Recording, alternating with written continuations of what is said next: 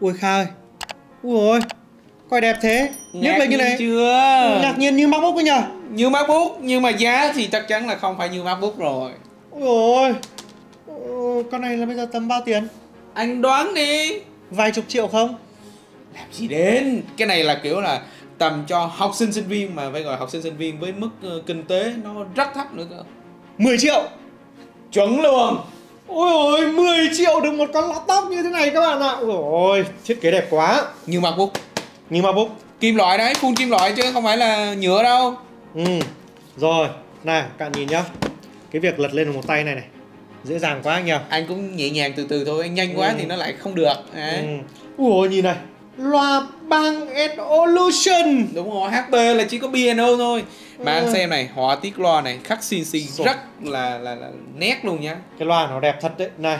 Hàng này là hàng flagship con này con flagship ngày xưa cơ mà. Con này mà ngày xưa chắc ở mấy chục củ nhỉ? Chắc chắn Trời tại vì ấy, nói về cái cấu hình đi thì nó cũng là thuộc cái cấu hình mạnh nhất vào cái thời điểm nó mới ra mắt nữa. Ừ. tất nhiên là đây cũng không phải là thuộc cái đời sau đâu. Hiệu năng hiệu suất của nó thời điểm hiện tại vẫn dùng bét để lề nhẹ. Ừ. đặc biệt là dành cho những cái tác vụ à, học hành cái thứ này kia. Quá coi i7 đàng hoàng ấy. Coi 7 thế hệ thứ 8 là là option hiệu năng mạnh nhất vào cái thời điểm 2018 đấy. Mà con này cấu hình này là mạnh hơn con MacBook Pro của anh rồi. Con MacBook Pro của anh có coi năm Thế hệ thứ tám. rồi. Coi mạnh hơn rồi. Vâng đúng rồi. Ô còn có cả vân tay luôn này. Có cả vân tay tất nhiên. Ừ. hàng này không rẻ đâu ạ. Để mình xem nào các cái cổng kết nối xung quanh này nhá.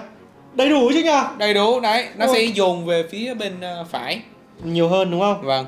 Ừm, được đấy được đấy quá nhiều luôn ấy còn gì nữa. Này đừng có nói là đây đấy là đấy là không đấy là cổng mạng lan. À ui làm anh ờ, giật mình tưởng là cái chỗ ờ, dấu USB giống như lần À, trước không phải đúng Đấy, không? cổng mạng lan thì nó sẽ hở như thế này đấy để mà Ừ. đút vào.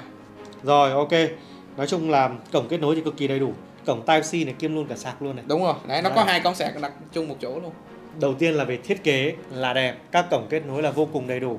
Thế còn bây giờ thì à à, thế còn cái chỗ này có phải là để cho máy phát sóng tốt hơn hay không đây? Chính xác. Ừ, trông như iPhone nhỉ? Lật lên nhá. Cái bàn mình hơi trơn. Hơi trơn đấy. Ừ. chứ không phải là do nó không lật được đâu. Các bạn về bảng các bạn thì các bạn sẽ lật được thôi. Rồi bây giờ chúng ta sẽ mở màn hình ra đầu tiên ấy là anh thấy là viền hai bên của sỏ này làm mỏng nhưng mà viền trên dưới thì làm rất dày. Ừ. bởi vì cũng không thể tránh được. 2018 ừ, tỷ lệ 16 chia 9 nữa. Đúng là cái này à, nó có cái phần che camera đi này anh thấy rất là tinh tế này. Vâng. Nó nó nó nó không chỉ là một cái cần gạt nhỏ đâu nhá mà nó là cả cụm luôn này. Ờ, hôm trước em làm cái con ờ, Legend ờ, 5 tầm khoảng ờ, hơn 20 củ thì em hỏi rằng là cảm biến vân tay với lại quét gương mặt đâu. Ừ. thì bây giờ con này chắc chắn chỉ tầm 10 triệu thôi đã có đầy đủ hai cái đó rồi. Vừa có cảm biến tay lại vừa có khuôn mặt ở đây. Đúng rồi camera AR đây. Đó, Ừ. IR đấy để mà Ừ. quét nhận diện gương mặt đấy. Này em nhìn nữa này. Cái chỗ này nha cái chỗ che đi này. Khi chúng ta che nó lại này thì nó vẫn hở ra cái phần mic ở đây này. Và để thu âm nhá. Còn khi chúng ta đóng nó lại này nó vừa khít ở phần mic này Đúng để thu âm. Tính hết cả rồi. Tính hết cả. Đúng nhưng không? mà hàng flagship thì nó phải nó phải tinh tế như thế. Được. Nhưng mà anh ấy thấy thấy là cái này là anh chê này. Đây cái màn hình này anh thấy nó đầu tiên nó hơi tối. À hơi tối. Thì Đúng nói không? chung là đúng hơi tối. Cũng lâu hơn rồi đúng không? Cũng lâu rồi. Tầm khoảng 250 nit thì nói chung là nó cũng ờ, vừa đủ trong ờ, văn phòng thôi chứ mang ra ngoài thì nó hơi khó nhìn. Đúng rồi. Đấy, cộng thêm là tại vì nó có thêm một cái lớp chống chói nữa. Đấy lại còn thêm một chống chói nữa nên anh nhìn nó hơi tối. Nhưng mà về cái ờ, độ phân giải với các thứ của sào này thì sao? Kích thước? Độ phân giải thì Full HD 14 inch. Ừ. đấy ngồi trong phòng nhìn thì nó rất là rõ ràng sắc nét. Rồi chính ra mà những cái um, mà cái phần nó thừa thừa nhiều cái này anh hay dán giấy nhớ đây ừ. Che vào góc màn hình thì cũng được. Ừ. Ví dụ như dán giấy nhớ là tối nay làm việc gì ở trên này đấy xong rồi lúc mình lấy ra mình bóc cái giấy nhớ thì sao? Ừ. Ừ, mình hay kiểu làm như thế. Rồi nhưng mà công nhận là khi mà nhìn xuống dưới này thì thực sự là cái loa này này giống như ở đầu video mình đã nói là cái thứ mà mình mình thấy thích nhất. Nhưng vấn đề là anh thấy là tại sao HP họ không không không làm luôn cái phím nguồn ở đây nó chung nó là cảm biến vân tay đi nhỉ? À nhưng mà nếu mà phím nguồn đây mà nó to thì nó lại che đi cái phần loa rồi. Nhưng mà kể nó làm ở đây cũng được nhỉ? Ừ. Hoặc cũng có thể do cái cách đấu dây đấu giết gì với của họ. Hoặc cũng có thể là phong cách của họ. Ừ. thích thế thôi đúng không? vâng chứ vào cái thời điểm này nói về huống hồ điện thoại thì cảm biến vân tay nó tích nguồn tích hợp vào phím nguồn đầy hết rồi mà đâu phải là Ừ. không làm được đâu. Quan trọng là thích hay không thôi. Trên cái, cái bàn phím này nhá thì anh thấy có hai cái điểm anh để ý này. Nó có phím nghe gọi cuộc gọi luôn đây này. Nghe vâng cuộc gọi và kết thúc ở đây luôn. Rất Ừ. tiện.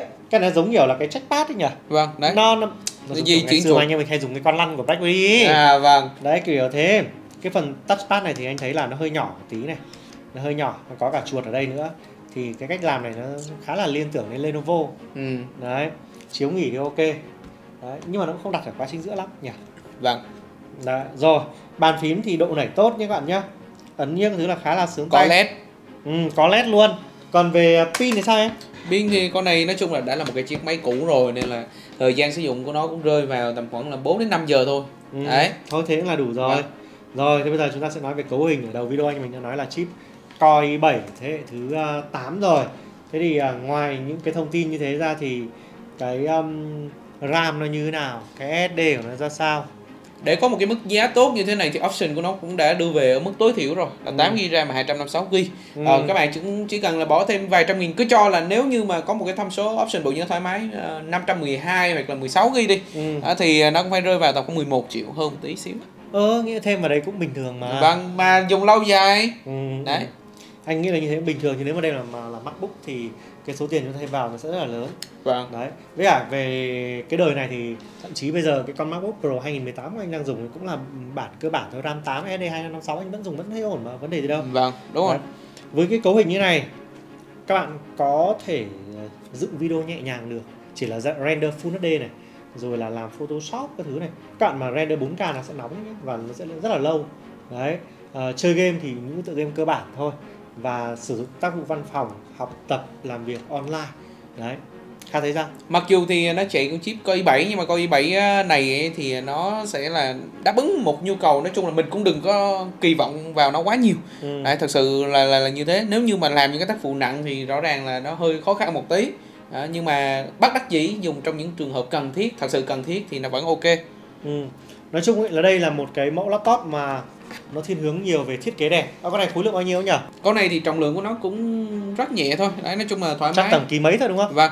Đấy, để mà các bạn nữ sử dụng vẫn cực kỳ ok chứ Ừ. không phải là chỉ bạn nam mới sử dụng được. Công nhận là thiết kế đẹp một cái cấu hình đủ dùng nhưng tất cả mọi thứ đều gọi là tốt trong tầm giá đấy. Và là tốt ở trong cái tầm giá. Bây giờ có chục triệu thì cũng khó đòi hỏi hơn được. Vâng. Đúng không? Bây giờ mà chục triệu mà mua máy mới thì không bao giờ có cái máy nào mà ngon được như máy này. Đấy là Vâng. chắc chắn luôn. Và những mẫu laptop như này thì à, à, hiện tại đang có tại trung trần.vn trung trần là một trong những đơn vị mà bán laptop hàng phần lớn là nhập mỹ chất lượng cực kỳ yên tâm giá cả phải chăng và cấu hình cực kỳ cao. Anh em có thể tham khảo phía dưới nhá.